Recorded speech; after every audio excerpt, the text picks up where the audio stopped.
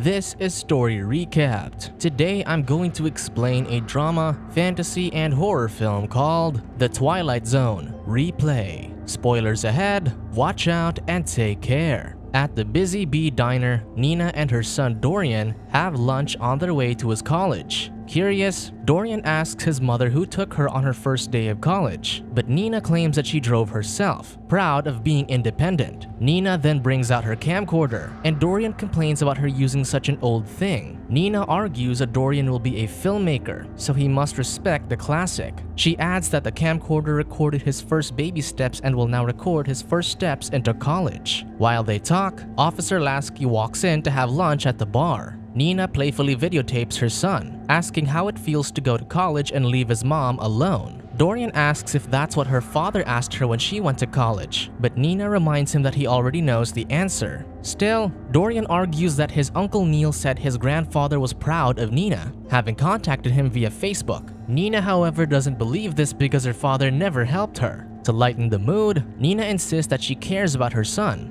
and when he has his child, he'll show the videos to his future daughter, whom Nina already named Trinity. Dorian laughs at the name, so Nina continues her mock interview, calling her son the next Ryan Coogler. Dorian questions how she knows Ryan Coogler, so she points out that she also watched Black Panther. Dorian returns his focus to lunch, but when he squirts ketchup on his fries, he gets some on his shirt. He complains that his mother recorded him getting ketchup on his shirt, so he asks her to rewind the tape and check it. To appease him, Nina rewinds the tape, and suddenly, everything else rewinds before her eyes. When Nina recovers, Dorian questions how she knows Ryan Coogler again, but his shirt is clean again. He then gets the ketchup, but she stops him from squeezing the bottle. She points out that he already did that and got ketchup on his shirt, but Dorian shakes his head. Nina tries to convince herself that it was just deja vu, Later, Dorian takes the wheel as they continue their trip.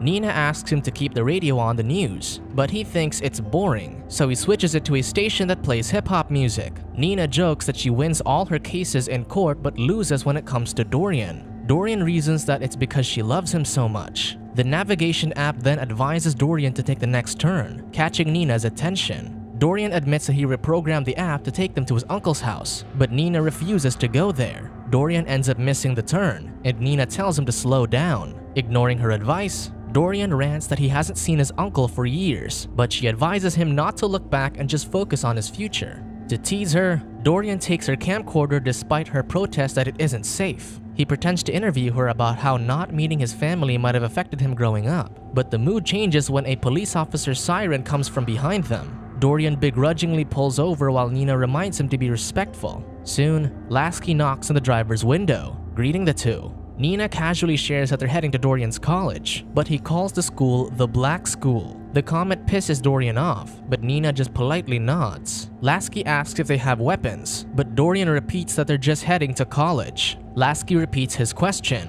so Nina says no, he then asks Dorian why he pulled him over, to which Dorian answers that he was driving too fast. Lasky lets this go since he admitted it, but he also points out that Dorian was driving while using a handheld device. Nina apologizes for it, but Lasky notices that the camcorder is still recording. He demands she turn it off, but Dorian argues that they have the right to record in their car. Still, Lasky reaches for the device, so Nina panics and accidentally presses the rewind button. Nina wakes to Dorian still driving while holding the camcorder, but her confused look concerns him, so he puts the device away. Nina asks where the cop is, and Dorian claims there's no cop. Dazed, she tells him to pull over, so he does so. Nina heads out to get some air while checking on the camera. Lasky's car arrives, so Dorian asks for help.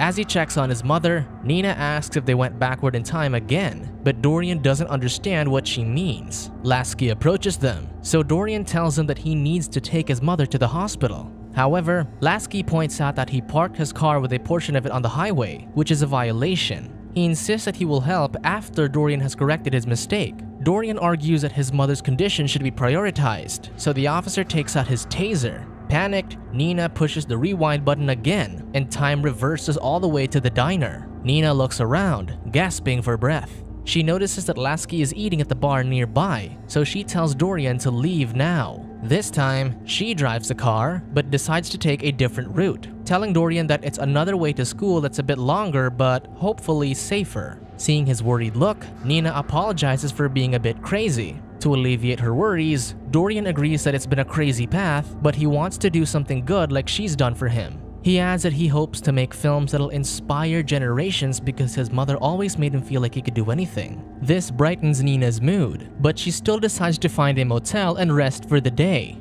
Dorian argues that they're close to the school, but she excuses that she's not feeling well enough to drive back alone. Since it's their last night together, she suggests eating junk food and hanging out. At the motel, they relax while watching the lottery. Coming up with an idea, Nina powers on the camcorder, recording the lottery numbers. She notes that they used to think the lottery was the added tax for people foolish enough to try and guess the numbers. Dorian argues that the numbers aren't random because everything happens as it's meant to be. Nina thinks it's a depressing thought, but Dorian thinks it's cool that things happen the way they should. Nina then rewinds the camcorder to the start of the lottery. She then bets Dorian that if she can guess the lottery numbers, he has to promise to visit her whenever possible. Thinking that it's impossible, Dorian accepts. Nina then starts guessing the numbers correctly, surprising her son. Impressed, he bombards her with questions then hugs her. Laughing, Nina asks him to get some snacks, so he happily does, joking that they'll be rich. The mood dampens when Dorian announces that someone's at the door. Nervous, Nina goes to the door and finds Lasky there. He asks for IDs, so Nina goes to get hers, but Dorian questions why they need to do so. Lasky answers because he asked them to, and Dorian argues that it's not enough of an excuse. Hoping to get it over with, Nina tells Lasky that Dorian has his ID in his back pocket, but Dorian continues arguing because they haven't done anything. Finally, Lasky claims that they received a noise complaint, and Dorian jokes that he should be calling to complain about Lasky's excuses. Nina moves to rewind the camcorder to stop the situation, but Lasky catches her and interrogates her about the device. Dorian accuses him of being scared of getting recorded, so Lasky pushes him. Dorian crashes onto a framed picture, breaking the glass while Lasky holds him down. Immediately, Nina pushes on the rewind button and wakes up back in the diner. She curses, tired of getting their trip ruined by the officer. Taking a chance, Nina approaches Lasky while he's finishing up his lunch. She introduces herself and her son, then offers to buy him an apple pie as thanks for his services. Lasky gets suspicious but accepts nonetheless. The two sit down at the bar as Mabel serves their pies. Casually, Nina shares that they're passing through on the way to her son's college. She adds that her son is all she has, and Lasky agrees that family is the most important thing. Adding to the conversation, Nina mentions that her family lives nearby, but she hasn't visited much. Her brother thinks she got too fancy for the life there, but she thinks life just takes them elsewhere. Again, she stresses that her son is important to her. Lasky looks to Dorian, who's watching them with concern, then just compliments her son. Nina then asks about Lasky's wife, noting that he's wearing a wedding ring. Lasky gets uncomfortable and explains that life goes places they don't expect them to. Nina offers her sympathy, and Lasky thanks her for the pie. He then gets up to leave, so Nina smiles, thinking that she has appeased the officer. However, as she's walking back to her son, Lasky calls out to her, asking if she owns the Volvo outside. He asks how she got such a nice car, so Nina explains that she worked hard for it and to get her son through college. Lasky takes this quietly, then advises her to drive safely before leaving. As the mother and son walk back to their car later, Lasky calls out to her again, demanding to present proof of her ownership of the car. Nina questions if people keep their pink slips in their car, and Lasky just says he hopes she does. Otherwise, she's not driving the car away. Nina gets agitated, demanding why he'd question if the car is hers. Noticing the camcorder in her hand, Lasky demands she put it down, but Dorian assures him that it's just a camera. Still, Lasky puts a hand on his holster, so Dorian hurries into the car, telling his mother that he has a picture of the pink slip in his phone. However, Nina rambles on, insisting that the car is hers so she'll drive it out of the parking lot. Finally, Dorian gets his phone and announces it, hoping to defuse the situation. Instead, Lasky pulls his gun out and shoots him in the chest. In her shock, Nina imagines the future where she watches her son play with his children in the park. Nina holds on to this image as she waits at the hospital in tears. Soon, a doctor approaches her, mournfully asking her to identify her son. Instead, she asks him for the camcorder, stressing that she needs it. After returning the camcorder to her, the doctor takes Nina inside the morgue, where she sees her son's dead body on the table. Praying for another chance to make things right, Nina presses the rewind button again, and time rewinds. Nina wakes up in the diner, crying tears of joy as she sees her son is alive. Noticing that Lasky isn't at the bar yet, she hurries her son to get back on the road. However, they come upon Lasky as he's entering the diner. Despite seeing Nina's shocked face, Lasky holds the door for them. During the drive, Nina bursts into tears. Thinking that she's getting emotional about him moving to college, he assures her that he'll visit on Thanksgiving. Deciding to do things differently, Nina asks for her son's help. Soon, the two pull over so Nina can explain the truth to him about the camcorder. She understands that he doubts her, but she begs him to help her end it. Considering her story, Dorian notes that there's only one path that they haven't taken that might take them to school.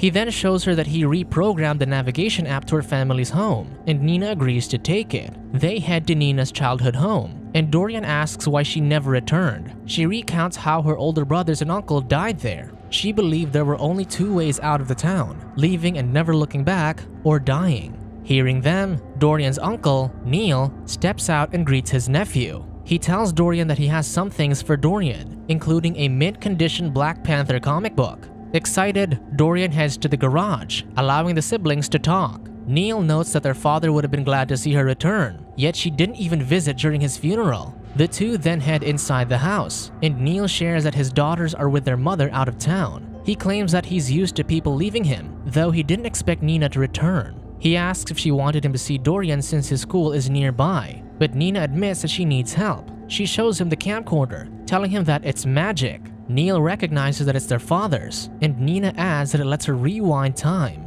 However, Lasky keeps bothering them no matter what she does, always on the verge of killing her son.